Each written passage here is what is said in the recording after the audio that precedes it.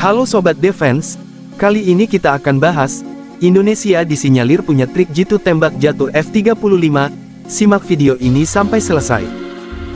Jangan lupa subscribe, like, komen, dan nyalakan notifikasi, supaya channel ini cepat berkembang. F-35 bisa jadi salah satu ancaman bagi Indonesia. F-35 di kawasan dimiliki oleh tetangga Indonesia yakni Singapura dan Australia. Australia bahkan memperkuat semua pangkalan udara depannya di wilayah utara yang berdekatan Indonesia dengan F-35.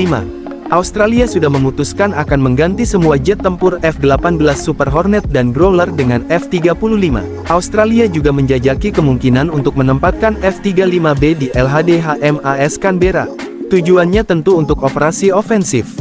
Australia tengah membangun kekuatan agresor untuk melawan China, saat ini.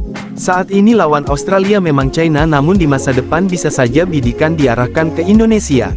Di lain pihak ada Singapura yang akan memiliki F-35. 11-12 dengan Australia, sesama anggota FPDA, bukan tidak mungkin Merlion mengambil sikap tak bersahabat dengan Indonesia di masa depan. Langkah Indonesia mengantisipasi hal ini cukup menggembirakan sekarang. Pembuatan fregat Arrowhead untuk menangkal serangan udara serta FREMM memperkuat armada Indonesia. Pembelian Rafale dan rencana akuisisi F-15 Eagle 2 juga menjadi salah satu bargaining power agar Indonesia tak dianggap remeh negara lain. Sebetulnya pembelian Rafale, FREMM dan Arrowhead masih kurang. Kurang jika untuk menjaga NKRI dari Sabang sampai Merauke. Indonesia membutuhkan sampai 11 skadron jet tempur. Bukan hanya soal kuantitas, Indonesia membutuhkan juga kualitas. Untuk kapal perang, misal Marta Dinata kelas minimal berjumlah 12 unit. Jenis real fregat macam Arrowhead dan FREMM Indonesia setidaknya membutuhkan 12-14 unit. Belum lagi kapal selam minimal 12 unit dan destroyer 3 unit.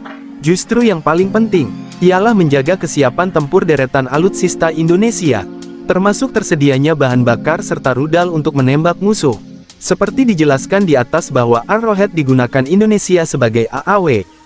Tugasnya menembak jatuh pesawat tempur maupun rudal yang menyerang Indonesia. Tapi masalahnya apakah Indonesia mampu menembak jatuh jet tempur generasi kelima macam F-35? Pengamat militer Koni Rahakundini memaparkan jika Indonesia sudah mampu mendeteksi keberadaan jet tempur siluman bila masuk ke wilayah NKRI. Hal ini juga memungkinkan Indonesia punya trik menembak jatuh jet tempur siluman.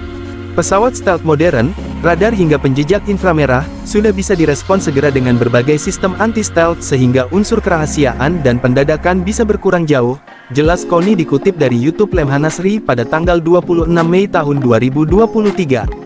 Memang Indonesia sedua punya radar pasif dalam diri Vera E buatan Republik Ceko. Vera E mampu mendeteksi F-35, F-22, J-20 hingga pesawat pembom nuklir B-2 Spirit. Memang saat ini untuk mendeteksi F-35, Indonesia sudah punya antitesisnya, Asteris.